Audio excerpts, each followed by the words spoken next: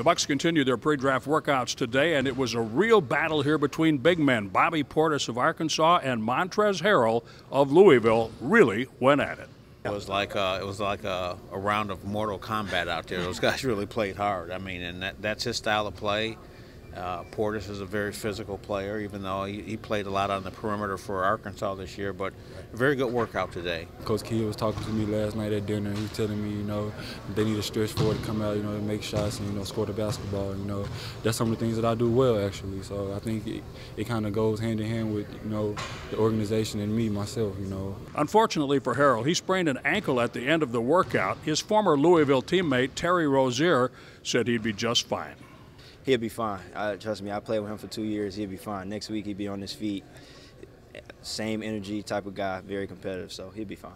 Yeah, he's got a couple of other visits that he has to make, and just for precautionary measures, we're going to you know make sure he gets the proper treatment. The Bucks have a workout scheduled for tomorrow, Thursday, and another, perhaps the final workout on Monday before the June 25th NBA draft. Thanks for watching Bucks.com TV.